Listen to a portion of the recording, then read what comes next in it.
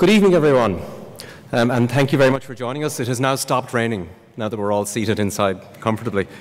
Um, I'm David Madigan. I'm the Executive Vice President and Dean of the Faculty of Arts and Sciences here at Columbia University.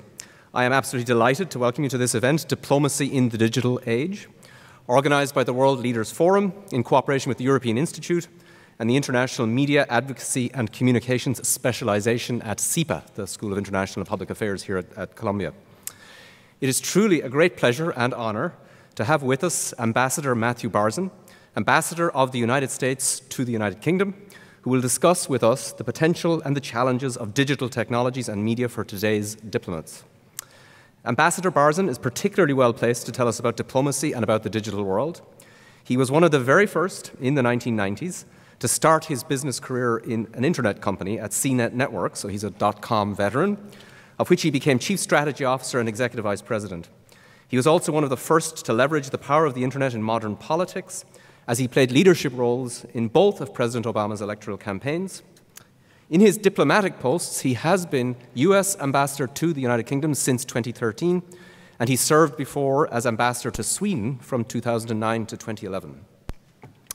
There is another reason why I am particularly delighted to welcome Ambassador Barzun to Columbia University and why he should feel especially at home here. His grandfather, Professor Jacques Barzun, was one of our most illustrious professors here at Columbia. He was born in France and educated at Columbia after World War I. Jacques Barzun became one of the leading American public intellectuals of the mid 20th century. A prolific scholar, he helped launch the discipline of cultural history. In both his life and in his work, he constantly brought together European and American cultures. So it, was with great, it is with great pleasure that we pay tribute to the legacy of Jacques Barzun as we welcome you, Ambassador, this evening. Thank you for being with us today. We are very much looking forward to hearing your thoughts about diplomacy and about your experiences as an American envoy in Europe at a moment when the continent is facing so many daunting challenges. I'm also delighted to introduce Professor Adam Tooze, who is Catherine and Shelby Cullom Davis Professor of History and Director of the European Institute here at Columbia, and Professor Alexis Wichowski, who is Adjunct Assistant Professor of International and Public Affairs at SIPA and Director of Research and Communications at the Harmony Institute. Adam Tooze and Alexis Wichowski will moderate the discussion and the, the uh, Q&A session that will uh, um, follow from the, uh, Ambassador Barzun's remarks. I will now give the floor to Ambassador Barzun, but before that, please join me in giving a warm Columbia welcome to the Ambassador.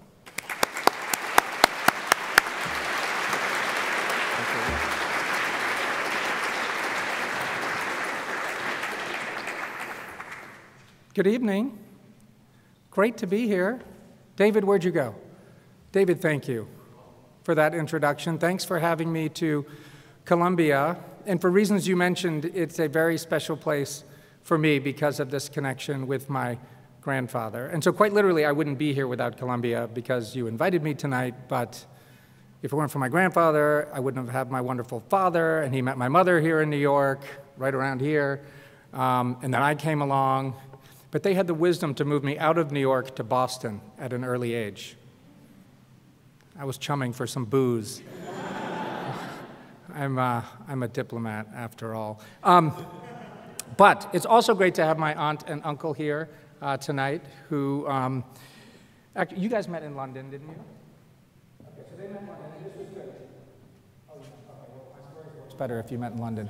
So they come over and they get married at our house. I grew up in this little tiny town in Lincoln, Massachusetts, about 4,000 people right outside of Boston. And so it was nice to meet people who had been in London and I got to hear about London because up until that point, so many of you are so young, but those of us of a certain age, back in the 70s, you know, we had like three and a half channels on TV. So my only experience with the United Kingdom was Monty Python, Doctor Who, and Benny Hill which was strange. So you sort of balanced out. So thank you for giving me a better sense. Um, and then New York comes in again. So I headed over there uh, two years ago, roughly, uh, August of 2013. And I was given lots of advice from my friends, uh, some of whom are in the room today, from New Yorkers uh, who either were British or had spent some time there. And they warned me and they said, Matthew, uh, beware of the British press. They will build you up and they will tear you down. It's like, okay. So the very next day, I'm still in America at this point. I haven't even, I've been announced that I'm going over there, but I haven't yet gone. and an article in a major newspaper appears in which I am described as a potato with hair. so it's like, that great, that's the building up bit. I was just bracing for the tearing down. And then I actually do get over there a few weeks later. It's day six. And uh, at that point, think back, August 2013, David Cameron goes before Parliament asking for the use of military force against the Assad regime for the use of chemical weapons. And as you remember, it's a big debate here in America, it's a big debate over there. He ends up losing the vote. Um, and after he lost the vote, front page of the number one most circulated newspaper in the UK is a big thing above the fold. It says death notice, special relationship, dead, age 67, beloved offspring of Franklin Delano Roosevelt and Winston Churchill, blah, blah, blah, blah, blah funeral to be held at the French embassy. so I get an email from these same friends in New York who had warned me, and they said, Well done, Matthew. Seven decades in the making, and you've killed it in less than seven days. So, of course, it didn't die that day, and it's still alive and well, and it's complicated, and it's vibrant, and it's vital. And I hope in the question and answer we can get into your suggestions and your thoughts about that. But what brings us today is um, uh, diplomacy in the digital age. Um, and uh, I was thinking the other thing I'm trying to adjust to in the UK is language, right? Famously similar but different, and you fall into traps. And um, I remember um, early on watching the, the BBC weather. And there's a storm, I mean, nothing like today, like a terrible storm ravaging the UK. And there's like, people are like getting swept out to sea. It's a big deal. Uh, and I'm watching the BBC, and there's uh, the, the weather reporter is there on the Brighton Pier, south coast of England. Huge rollers coming in behind her, pouring rain. And she says, you know, I don't remember her real name, but I'm Jane Smith signing off from Brighton Pier where it is not overly safe. so, one of the big challenges for me is adjusting to that understatement, because you can imagine what the American broadcasters would say, you know. Um, but the other one is tricky is these things. So they're not cell phones, they're called mobile phones. And you think about that phrase for a second, mobile phone. Back in the 70s, when some of us were growing up, mobile phones was an oxymoron, right? Phones were many things. They were red over in the UK in boxes, they were on every street corner here in New York. Anything but mobile, chained to your desk, chained to the wall. Now, for my kids, mobile telephone is redundant. They've never met a phone that isn't mobile, right? But what we've all been through together is this journey from oxymoron to redundancy. And I think about that for today's discussion around digital diplomacy. I mean, there are a bunch of people, wind back the clock not too far, and some today, who would argue that digital diplomacy is an oxymoron. Proper diplomacy happens in behind closed doors, usually where you have to leave your cell phone outside, right? That's where real diplomacy happens. Um, others look forward to a day when that phrase will be redundant. I mean, digital is part of all of our lives now, and so too it will be with diplomacy. But right now, today, we're in this interesting middle between uh, oxymoron and redundancy. So I wanted to share with you sort of field notes, if you will, from my experiences thus far, reflect a little bit on diplomacy, um, digital, and then maybe at the end a thought about age, which I think is important. So, diplomacy. So, I was uh, at a dinner party the other night in London, and uh, I got seated next to this famous comedian. So, think his name is Jimmy Carr. He's sort of famous over there, like sort of a Jon Stewart, Stephen Colbert guy, but he's also a stand up comic. Sitting there at dinner, I knew him a little bit, but I was excited, and I had this question I've always wanted to ask a stand up comedian, and I never had the chance. So, this was my chance. He's sitting right to the left of me. And I said, Jimmy, let's say you're trying out new material and you get up there in front of a, an audience, and let's say you leave London because that's a tough crowd, but you go to Leeds or someplace sort of in the middle. Uh, and you're trying out 10 new jokes. How many get a laugh when you first try them out? Any stand up comedians here? Okay. So he says, Well, like now? Like I'm really good. I'm at the top of my game. I was like, Yeah, Jimmy, now. And he said, Now I'll get three laughs out of 10. So I, I was like, that's really cool. Okay, that's good. Because one of the things we're trying to do at the embassy is increase our ability to take risks. And it's, it's a sort of a risk averse culture for a lot of good reasons. But so I thought, wow, three out of 10, you know, like in baseball, that's good. But in little else, is three out of 10 a good score? So I'm sort of done with Jimmy. He has given me the answer I want. But then he sort of taps me on the shoulder and he says, Matthew, you know, jokes are funny things. And he's like, no, I didn't mean it that way. He's like, jokes are interesting things.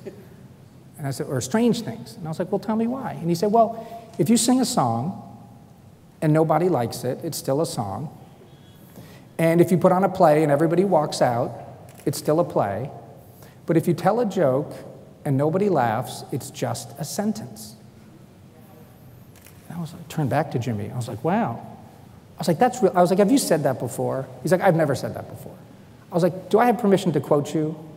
And he said, Sure, I don't know why you would. And I was like, I think that's actually very profound for the work that we are trying to do in diplomacy.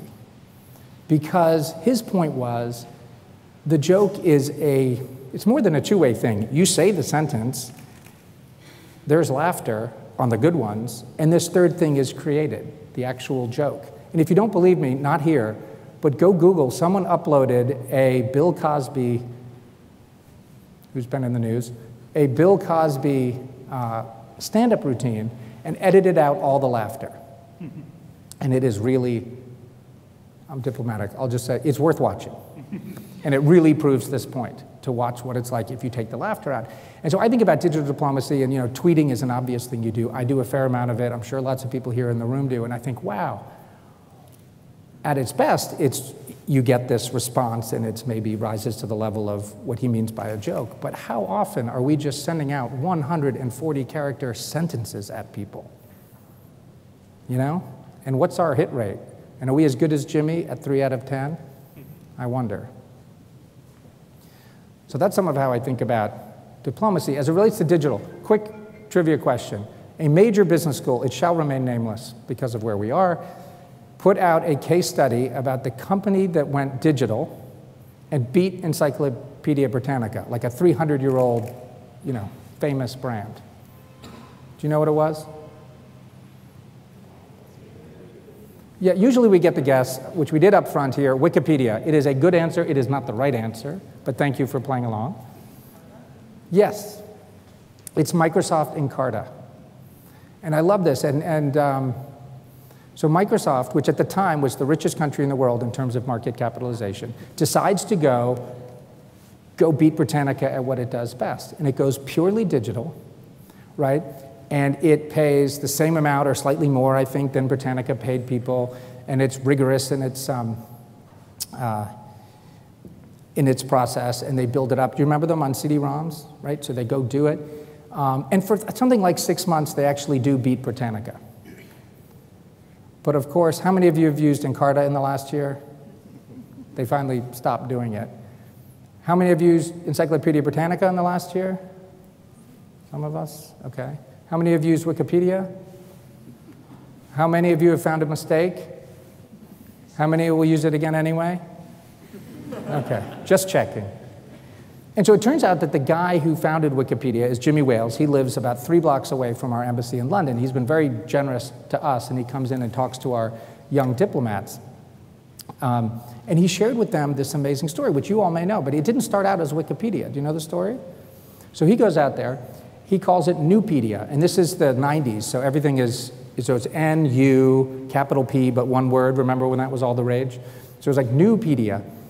And his model is almost what it is today with one important difference. He goes out and um, he's going to not pay anyone. That was always part of the model. Can you imagine being in that pitch meeting? I'm going to go beat Britannica, 300 year old company. I'm going to go beat Microsoft, the richest company in the world with the best engineers and unlimited budget. And I'm going to do it, I'm not going to pay anyone anything. So he didn't have a lot of people excited about the project. But he said, you know what? Everyone's going to be gunning for me, and because I'm the new kid on the block and I'm not paying anyone anything, so I have to be twice as paranoid about quality. So Britannica and um, uh, Encarta have like a five-step process to get an article approved. Jimmy's like, we're going to do 10. So he has 10 steps you have to get through to get an article done. A double peer reviewed. I mean, it's very academic and rigorous and hard. So at the end of one year of Nupedia, they had nine articles. nine. Jimmy's also good at math. He did some simple math, and there was just no way that was going to work. Oh, and by the way, one of his nine articles completely plagiarized through his double paranoid set of steps. Right, so then some young person on his team comes up and tells him about this thing called Wiki, right, where you can edit on the fly. And so, you know, the rest is history. He goes with that model. And it has become, and I hadn't heard this phrase before, but I love it, the greatest knowledge transfer engine in the history of the world. Complete with a bunch of mistakes. Guess what? Encarta had a bunch of mistakes. Britannica had a lot of mistakes, but you're just not going to go reprint your whole bookshelf when you find a mistake. But it keeps getting better and it keeps improving. And so I think the lesson I take from that is Encarta was digital. That's not what's so interesting. And we use that word digital. They were purely digital. What they weren't was networked. They didn't ask other people for help. They tasked people with assignments.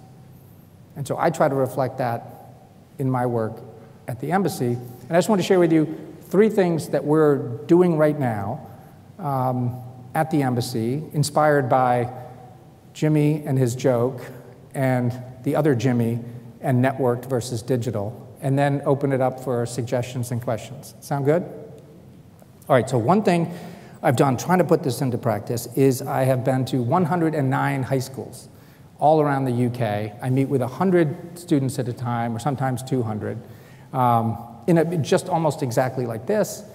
And my hunch was going into this job that maybe British kids that age wouldn't be um, as supportive of the United States as the older generation. I mean, you could call them the 9 11 generation, but they were four, right? I mean, that's like asking me to get, have a deep resonance with the Vietnam War or the oil crisis in the 1970s. I knew it went on, but like it didn't, I have no resonance with it. Um, and maybe less clear memories about the Cold War and World War II and all that stuff. So I wanted to reach out and hear what's on these kids' minds. And um, so I did. And then it turns out that Pew, the wonderful people at Pew, just put out a uh, American opinion survey of what people all around Europe think of America. And in every single country but one, young people, sort of that age group, have a more favorable opinion of the United States than the older generation. And it's either like plus two or plus four percentage points, or in some cases, plus 14 percentage points higher, except for the UK, minus nine. So clearly it hasn't been very effective. but I got, but uh, that was a joke, which got no laughter. That was a sentence. Um, so, and my other hunch was if you went and talked to 18 year olds, as opposed to talking to people at universities, and when you go to universities and you get a group like this together, the people who show up, bless all of you and all of us, tend to be people really interested in foreign policy. So the questions, they want to talk about drones and they want to talk about surveillance in Guantanamo Bay and Afghanistan and Iraq and Yemen and Syria, all these important things that we as diplomats are trained to talk about, we talk about every day, and so we're happy to engage. But I was like, do 18 year olds, would, would they raise the same things? So I give them, I don't give them a lecture, I just give them a card like this big and a pencil, and I say, draw me a picture, please, of something that frustrates, concerns, or confuses you about the United States and what we're up to. And I always get a panicked look, usually from a young man who's like, I'm hopeless at drawing. I was like, you can just write a word if you want to write a word. So they do all that, and then we talk about it. And two thirds, and then we write up what they wrote, and two thirds of the issues they want to talk about aren't foreign policy at all. They're all what you would think of as domestic policy. The big one is guns, so half the kids draw a picture of a handgun. Police violence, racism, and, and, and. And they do get to drones, Guantanamo, that stuff too, but much less than these other things. So that was a big learning for us at the embassy around what to do there. Um, the other thing we tried to do is early on when I got to the UK, I sat down, it was a sort of Chamber of Commerce kind of event, and I, I was all briefed up to get through my Senate testimony, and I know about our amazing investing relationship between the US and the UK, we're each other's number one foreign direct investors, et cetera, et cetera. And so we're sitting at this business dinner, and this is this well known British business guy sitting like two away from me. And I'm sort of pitching him on this, and I'm trying to get him excited to talk about transatlantic trade and investment partnership. uncleverly named TTIP. No hint of an A in there that it's transatlantic. But anyway, so I'm kind of pitching it. I'm basically like, let's talk about this. And in a sort of nice way, he says, let's not. I was like, oh, okay. And then the conversation drifts on. And then he says, he sort of put his hand out. He's like, he didn't say son, but you could, t- it was implied. Son, do you want to actually be helpful? And I was like, okay, yes, I do. I mean, desperately. And he said, I'll tell you what you can do. I travel to your country five or more times a year. So he's a British passport holder. Five more times a year for business. Every time I show up, it's like they've never met me. It's inconvenient. It's in, and I could tell he wanted to open up. I mean, there, there had been lots of wine at this point. And he says, um, it's, it's, it's, it's infuriating. And I had learned enough of British understatement to adjust for if he's willing to say infuriating and not, it's not overly convenient, it's actually infuriating. I was like, wow, okay. So I went and did a little digging. So I talked to my team at the embassy, and it turns out, and then we got to work, and it's taken us two years, but our Customs and Border Protection team worked with the equivalent over there called the UK Border Force. They spent two years getting their systems to agree and talk to each other. So ne- a week after next, we are announcing, we've already sort of announced it, um, that all UK citizens are now eligible for global entry. So instead of queuing up for what it can be. Anyone gone through this? I mean, it can take, oh, yeah. at JFK when things are bad, I mean, it can be, so you wait in the passport line, that can be an hour. Then you think you're finally done, you get your bag, and then you have the customs line, where all your job is to give that one piece of paper, and that could be another hour. So now it takes 45 seconds. Right? 45 seconds. So that's something. And so if you have British friends, if you are British, by all means, spread the word.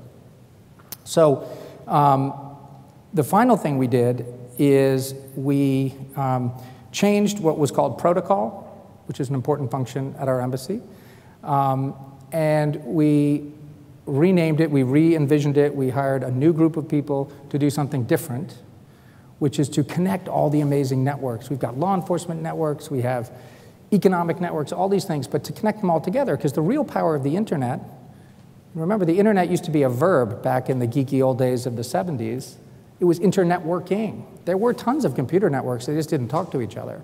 So we've renamed it the Office of Network Engagement to try to get all these different groups actually talking and engaging and not in their individual silos.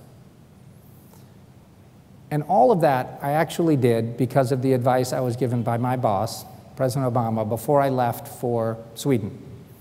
And I sat down in his office. I knew him from the campaign, but he had just been elected president, and I got to go meet him in the Oval Office. I was a little nervous.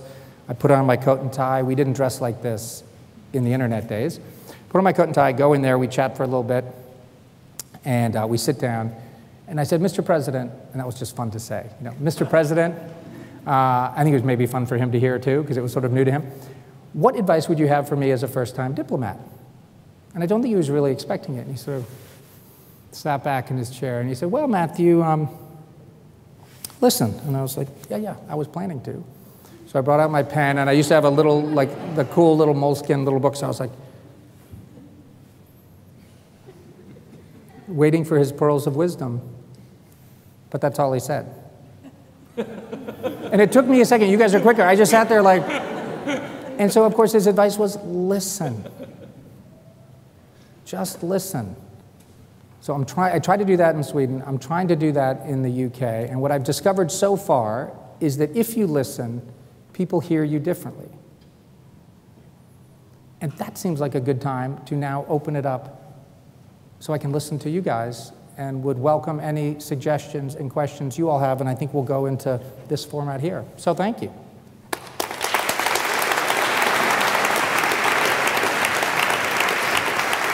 Where would you like me? Oh, nice.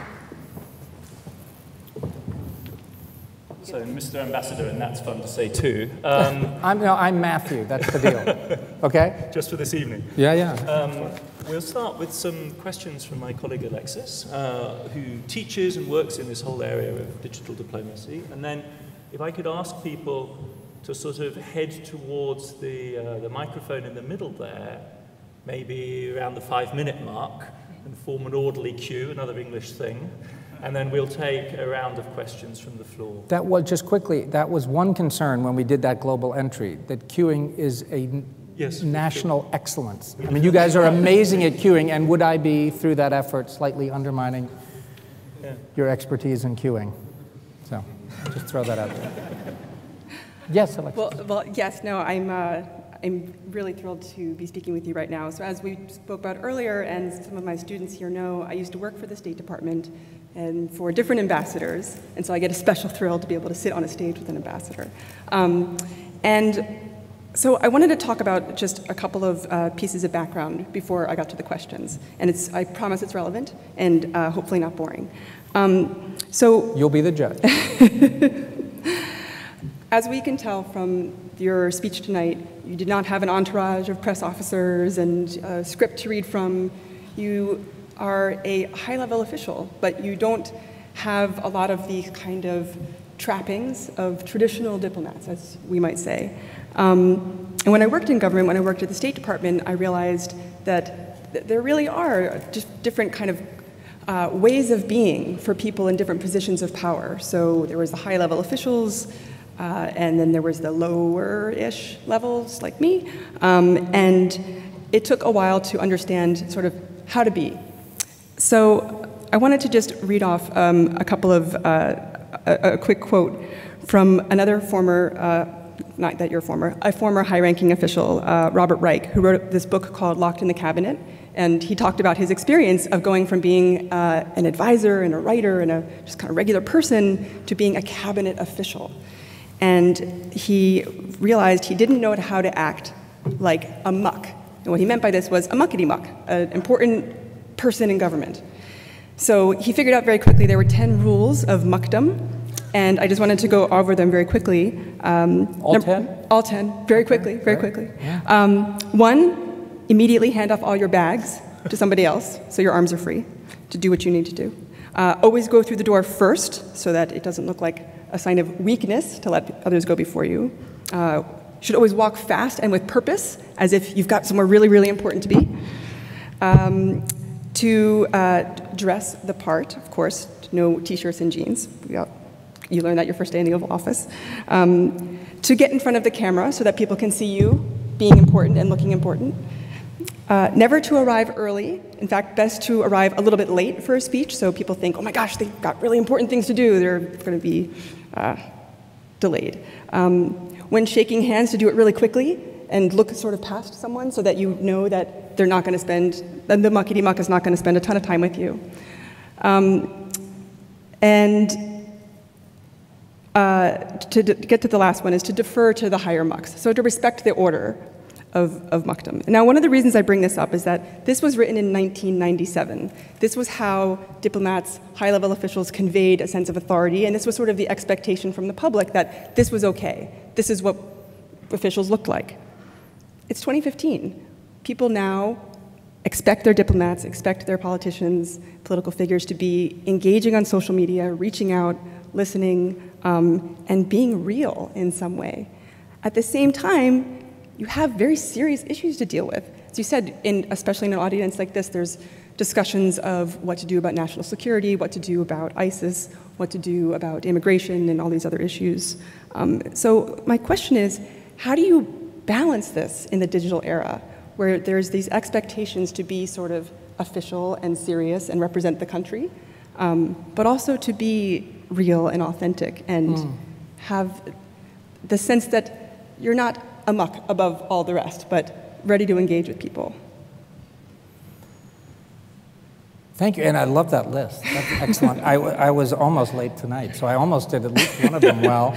Um, I remember sitting early on with um, Secretary Kerry, who comes through London fairly often, and uh, and I was going to be in the car with him on the way from Stansted Airport back into London, and that takes a while, even with the police escort thing. So I was like, oh, well, this is fun. And he said, do you mind if I, I have to take a call? And he had two calls during our trip, and, and one was uh, to the Russian foreign minister, and one was with his Chinese counterpart. And I thought, oh, this is going to be fun. I get to hear sort of half the, you know, half the stuff. And at the end of the journey, uh, and the calls weren't that long, but And what I realized is I heard 10%. Why? Because he listened. He asked important, intense, open ended questions, and he got long, really interesting um, answers, which I couldn't make out. Um, but and I think that's a great, and so yes, he's at the top of the pyramid if you look at the world that way. I don't tend to look at the world like a giant pyramid, which, by the way, is what sort of the Encarta approach is just hierarchical versus this networked approach where you lead from the middle and you don't lead top down. A bunch of things do lend themselves to top down stuff, I'm sure. Everything I've done thus far, internet stuff, politics and campaigning and diplomacy, I think, are much more a middle out way. We don't have a whiteboard here, but that's just sort of naturally how I think. Because people like to be listened to in private settings, in group settings. It's just, it works. Great. I think. So one other question, and this is for the students in the audience. I think there are many students in the audience. Um, a lot of people that come to Columbia, especially in the graduate program, hope for a career in government. And while we teach them here, we ask them to think about big policy ideas and really, you know, how do we innovate? How do we make government better? You know, how are we going to make big things happen? So when they get in government, most of them don't start at the position where they're a muckety muck, where they're a top dog. They have to start somewhere um, at a little bit of a lower echelon to be a policy implementer, not necessarily a policy maker. So I was wondering if you had any advice for the students in the audience who wish to work in government but may not immediately get to the point where they're able to implement some of these big ideas they've been thinking about for years. I don't feel particularly qualified to give advice on that subject because I kind of got parachuted into this wonderful government world twice from an outside world. So my colleagues at the embassy would and do every day give amazing advice to our young diplomats about um, how to do that. Um, I mean, I would just say, you know, policy making, I mean, I always draw three overlapping, see, now I have to self medicate here in Troy. Well, I, it's not going to work at this distance. But picture three overlapping circles, Venn diagram style. It's a great British guy, by the way, John Venn. Thankfully, did not patent his invention, or I would owe him lots of money. I'm forever drawing Venn diagrams like US, UK, or policy, which State Department's really good at, and sort of process. But there's that third one that overlaps process and policy, which is people. Like people people write, think up policy, they write it down, and then a whole bunch of people have to go live with what it's actually like with this policy. And as a young person, you can show up and ask them, what is it like to live with policy A, B, and C? They'll really be appreciative that you asked and that you listened and you took good notes. That's hugely valuable. Whilst people gather at the mic, and I would please invite you to do so to ask the ambassador questions, perhaps I can, I can um, tease out one of the implications of the story that you were telling about the school kids. I mean, if you as an ambassador go to a school, which is a kind of fantastic activity, and apparently you've been to over 100, is admirable, um, and you ask them, expecting, as it were, the foreign policy agenda to emerge, and instead, essentially, a domestic policy agenda emerges, is that not kind of rather wrong footing as an ambassador? Because you're not as it were, responsible for domestic policy in the United States. Indeed, to a large extent, it, one could reverse the Kissinger quote Who do you call about gun control in the US? Right? Because it is only in part a national level issue, it's in large part a states' rights issue. So, the implication of what you were saying about these young people's awareness of the United States would seem to suggest, on the one hand, a closeness, that they care about the everyday lives of Americans that they identify. If you're talking to ethnic minority kids in Britain, they feel a direct identification with what's going on in Ferguson as one black young man to another black young man. Mm. But, but it would seem to be rather destabilizing. To, to, is it, do you perceive that as enabling or, or, just an important piece of information to pass back to HQ or as something to work on in, oh, in new Yes, ways? yes, and yes. Oh, yeah, okay, interesting right. to know, awkward to talk about really important to talk yeah. about. And so it's been fun to get my whole team trying to say, all right, well, we got to talk about guns because as much as it's not in our purview, we may think of it as domestic policy. It is foreign policy because of the 10,000 kids I've talked to, open ended, half the kids do, as I mentioned, the exact same thing. So if we don't talk about it, they're talking about it.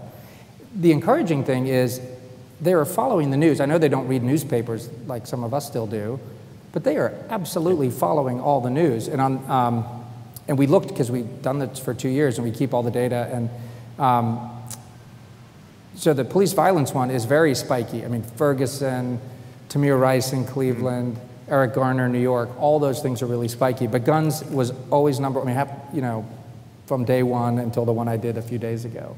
Um, but the point I try to make to them is, hey, um, because it's actually not states' rights as guns. I mean, that really is constitutional mm-hmm. at the federal level. Um, and, and, they actually know a bunch about the Constitution, which is, makes it interesting. And I basically, and I'm not going to do it here, but I basically tell the story. It's like, hey, in 1780, you know, we the people, we had a big fight with you guys, the British. You know, we wrote our Constitution down, unlike you guys. Ha ha ha. Um, you guys. Hmm. Um, and then we talked through it, and they know a little bit about it. And I was like, we have certain freedoms. What do you think they are? And they kind of named them. And then um, I said, but look, if we're honest with ourselves, who were we the people in 1780? It was we, the white, male, Protestant landowning people. That's who. And then we gradually get rid of the religious requirement and the landowning requirement, and then we have our Civil War. So I tell a story on the whiteboard from a small circle to a bigger circle, and then Civil War, and then women's rights, and then civil rights. And I basically say, look, you guys are helping us because as a country, um, we are at our best when we are humble enough to be self critical. And we have to hear this frustrations from you guys and from within. And then at our best, we're confident enough to be self correcting. And that's how come that circle keeps getting bigger. So thank you for talking about these things. Hmm. Excellent. So we've now got a lovely long queue. Oh, gentleman. Right. Hello, sir. My name is Sal Borgignon. I'm a foreign policy major here in CC. Speak up. Um, sorry. Um, so I was sitting down and I was brainstorming as like the really complex questions I could ask you that in regards to like foreign policy, drone strikes, Middle Eastern strategy. And you brought up this, these facts of gun policy, of you know, Eric Garner, of racism. What kind of image do you try to project of the United States to Britain, to people from Britain, and to all those people you speak of? Because I was trying to think, you know, what does it mean to be American? And I and I thought of some abstract things, but like I'm, I'm trying to hear your opinion on this. Well, thank you for asking because I forgot to say the happy part of the. So, after we do all the, and we spend 85% of the time talking about the hard stuff. And then I say, flip over your card, draw me one picture of something that inspires you about America. And there isn't one big word like guns is on the negative side, but it's the word, but there is one that is the biggest, uh, which is opportunity. And technology and American dream and diversity, all that stuff kind of ties together. Um, because I also asked them, in what country do you think minorities are better treated? Because we do this whole thing with clickers, which I did, so they can anonymously answer. We ask them 10 questions. And uh, in what country do you think minorities are treated better? US, UK are both about the same. And I had no idea what the answer would be. And this is true. I've done about half the schools are majority minority, the other half are majority sort of white British. Um, it doesn't matter what school you're in, it's always basically 88% of the respondents click better in the UK, which is kind of interesting. But at the end of the session, you're, and you, you tell that expanding circle story, and then they're like, oh, yeah, yeah, right. You guys have come a long way. LGBT rights comes up a lot, and that that's a great thing to be able to talk about. Like, look how we, far we've come as a country in just 10 years on that issue. Thank you, sir. Yeah, thank you for your, uh, for your you know, your speech. Um, I actually work with Alexis, um, and uh, so I'm really pleased to, to be here. Um, I won't ask you based on a list of 10 things, though, to start. oh, yeah. But um, I do have a question about, you mentioned the role of, uh, you know, kind of this like uh, networked uh, way by which information travels now. And, you know, one of the uh, features of that, of course, is that, you know, via a network such as a Twitter network, for instance, if I have a Twitter account, I could, well, last week, I could have sent a message to any one of the Daesh accounts.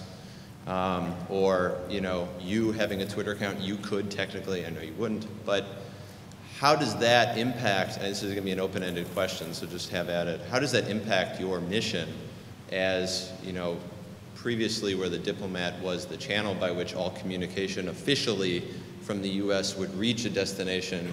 Now you have the case where communication coming from the U.S. or from any other country to another state or another group, in the case of ISIS, can reach that destination and I mean, how does that add to challenges, but also how does that, you know, add to features, so to speak, and enhance your capabilities?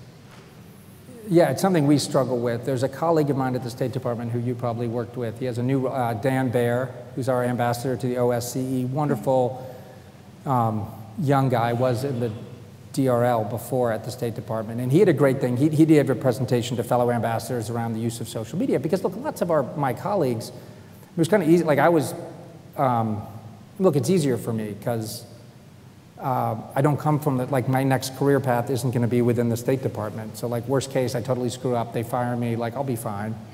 But that's you know that's different if you're a 29 year old foreign service officer coming up through the ranks. Like it's not fine if you make a big screw up. But the thing he said to these people that really stuck with me was, he's like, look, you're gonna mess up. So do you want your stupid tweet to represent a quarter of all the work you've ever done? You send four tweets, one is bad so volume really helps. So like do 100 tweets and then you have one dumb one. so you can sort of dilute it, which I think is very empowering. It's just like more, more. Now, then it raises the, the sort of Jimmy Carr sentence versus diplomacy. So you're trying to do like, but just more, because look, our leaders, bless them, mess up all the time too. And they live to fight another day. They're fine, they get over it. That's what makes them good leaders. I mean, President Obama just gave that great interview to Bill Simmons, I don't know if you read that one, sports guy. Anyway, and he talks about that. So if our president could do it, if our Secretary of State can do it, then we all ought to be able to do that too. Thank you. Thank you. Uh, again, thank you for your presentation. It was very enlightening. Um, so my question uh, relates to essentially the more digital nature of this presentation. Um, so my question essentially is, how is the U.S. State Department reacting to conflicts or controversies which uh, involve the use of cryptocurrencies, particularly uh, like Bitcoins, um, especially given their widespread nature in sort of black market dealings, as well as their unrecognized uh, nature by large central governments and central banks? I don't know. I know it's an emerging, I mean, it's a fascinating topic. It's moving quickly. It is a big deal. It's going to become an increasingly big deal, not necessarily big, but the whole I just came from, a, we just sent a fintech delegation of, there was nine great British companies in financial tech, sending them, encouraging them to go grow their businesses here in New York and elsewhere in the States. And they went to Washington, they're in New York, they're in my beloved Boston tomorrow. Um, and one of, the, one of the companies deals with stuff in the happy part of that spectrum um, around new types of currencies. But it's not an area of expertise for me, so. Thank you. I Can I just interject for one moment and say how fantastic it was to hear uh, a diplomat of your stature say, I don't know. Uh, having worked in the State Department before, it's definitely not on the rules of muckdom, I'm sure. Um, but I think that it's part of what establishes trust. As you were saying before, when you listen to people, they hear you differently. And when you acknowledge that you make mistakes or you don't know something, they're able to give you more credibility. So oh, I just wanted to acknowledge that. Thank you. Yeah. Yes, ma'am. Uh, thank you. My name is Jennifer, um, and I'm a student at SIPA, and I'm actually one of uh, Professor Wichowski's students. Um, I have a question regarding kind of specific digital tools that you may be using at the embassy. I'm familiar with um, some of the digital tools that the Spanish embassy is using to engage youth populations. And I was wondering if you could speak a little bit more specifically about that, and are there any digital tools that have been really effective in, I guess, improving or perhaps bringing heightened understanding to the U.S. image, and particularly with respect to exchange between uh, U.S. citizens and citizens in the U.K.? I hope, thank you, I hope um, you will develop one.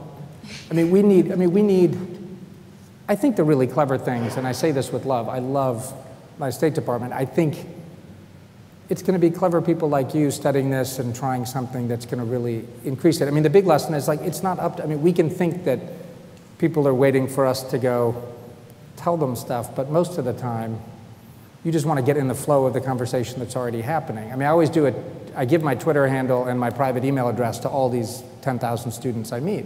But it's hilarious. I put up my email address. I was like, do you guys like email? They're like, oh. I mean, they hate email. It's like that's what their teachers like bug their parents with. so my Twitter, no, you know, and you know that. I mean, your generation's not probably hugely into Twitter either. I mean, the State Department, by the way, does an online knowledge something you would know, which is called Diplopedia. It's actually fine. But I thought, oh dear, that's exactly kind of 180 degrees from, it should be wikiplomacy. Right? Like the interesting thing is right. like open and growing and open to other people and some parts growing faster than others and controversy. Like that's what's interesting about Wikipedia. But Diplopedia, like the, all the stuff we know stuck into a pedia, not all that interesting, I would argue. You're basically using Twitter and Facebook, presumably, and email. And I think this is where your question was headed. What are the things, what are the instruments you use? I mean, I use Twitter. Instagram. Our embassy uses, yeah, I, I mean, I personally uh, do Twitter. Um, Instagram's amazing. It's really good. I'm bad at it. I was told by my 14 year old daughter. She's like, oh, it's just pathetic. You do too much, and what you do, it's low quality. So then I got all precious and tried to do a few things. I just don't, I mean, it's not the thing for me. Um, I look forward to a day when each temperament can have their own tool that suits them. I mean, Twitter isn't really my thing either, by the way. Someone needs to develop another one for, um, I don't know. We had the first vice president of the EU Commission here a couple of weeks ago, and he's behind you, but he's still on Facebook and hasn't made it out to Twitter yet, as far as I can tell. So you're, yeah. you're, uh, you may I mean, be behind Twitter, your daughter. At least Twitter, I mean, it's good for, there was this, um, uh, this great former Foreign Service officer who I sat down with. I, I, wait, sorry, I don't want to go on. I want to hear your questions. Okay. Okay. Um, so hi, my name is Kritika. I'm also a first-year student at SIPA. Um, so my question is also in regards to social media and its tendency to make people and organizations um, perhaps express their views in, uh, in a more extreme way than they usually are uh, in reality. So when you have 140 characters, you can't really go into nuances of an issue. Um, and with diplomacy being such a inherently subtle and nuanced kind of um, work, um, do you find it challenging to be authentic to the work that you're doing on social media? And the follow up question to that is also um, how do you measure the effectiveness of digital diplomacy? Um, do you know, do you, are you actually reaching people? Um, you know, do you measure the number of tweets you get back after you go visit a group? Um, do you have any measurements that you use?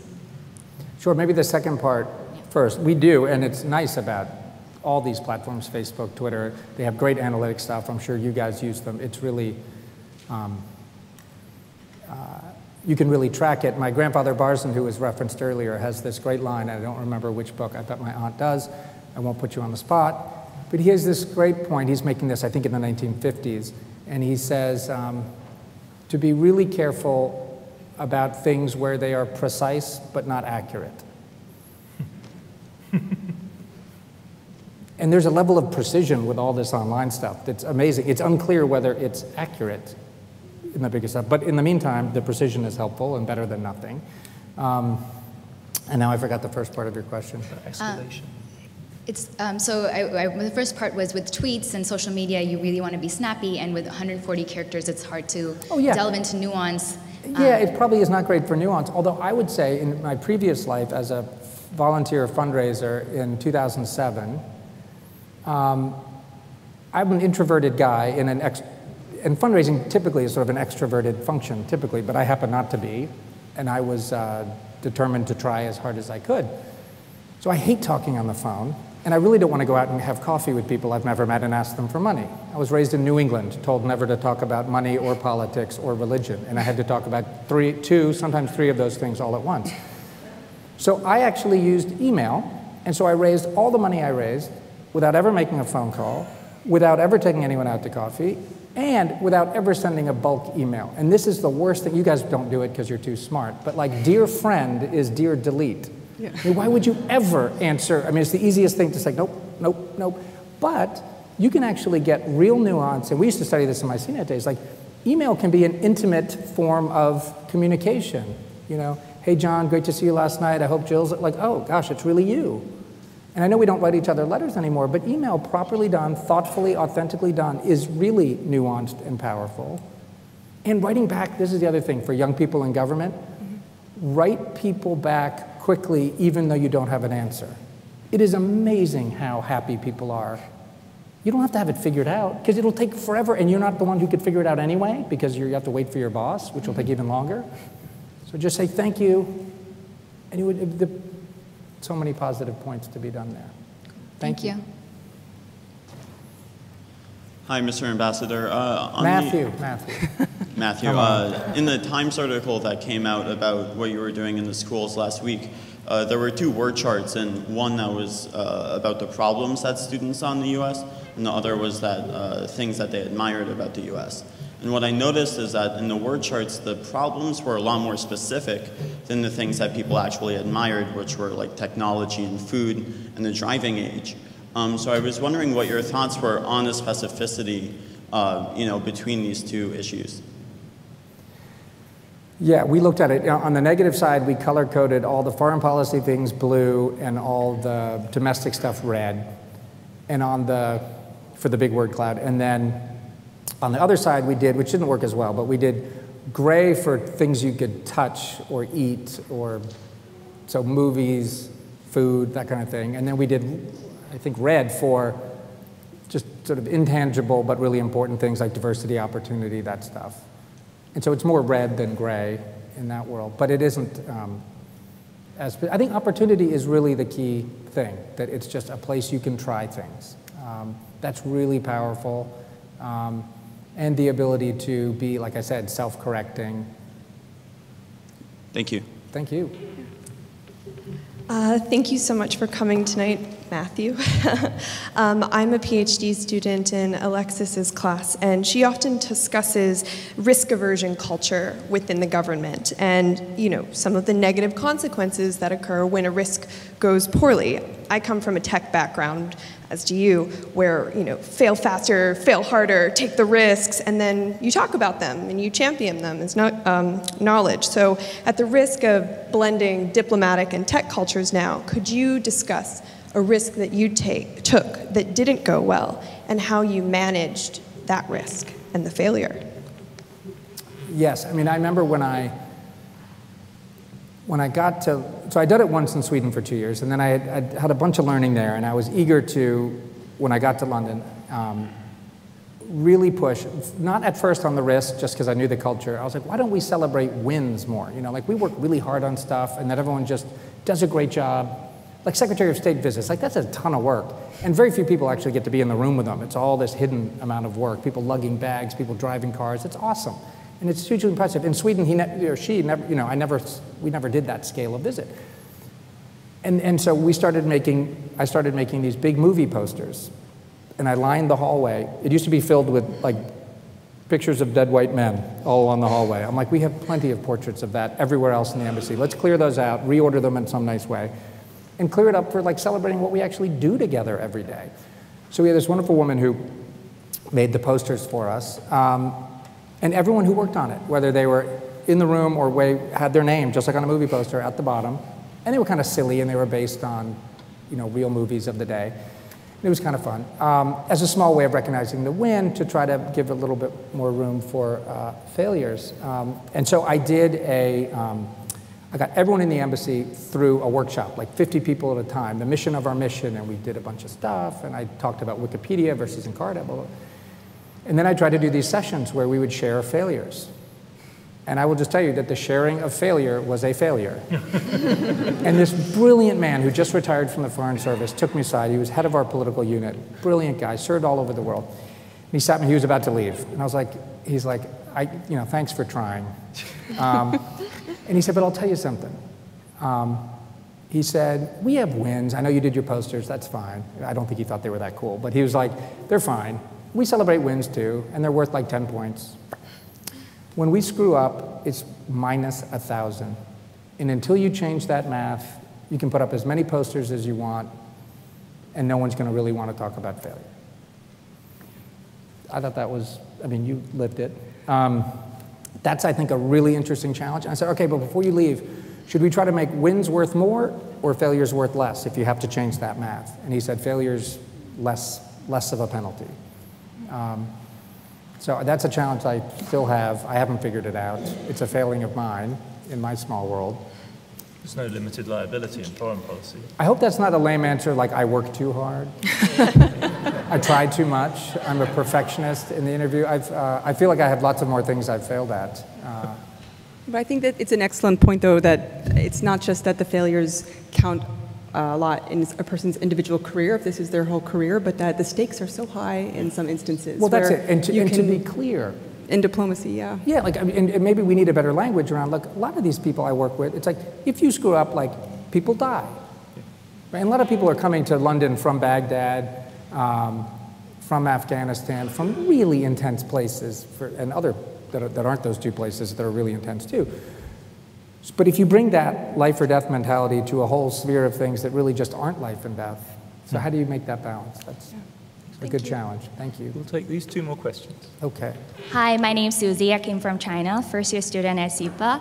I have two questions for you. And first is I remember that during the campus tour in UK, I remember that you asked each student a question that is what frustrated and concerned you most about United States. So I was wondering what is your answer to that question? Oh, that's really good. What's your second one?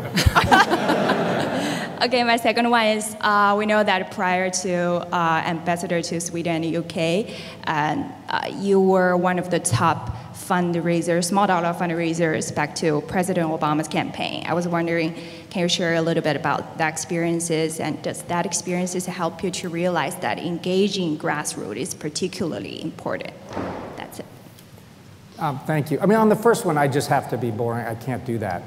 I made a very, oh, here's a failure.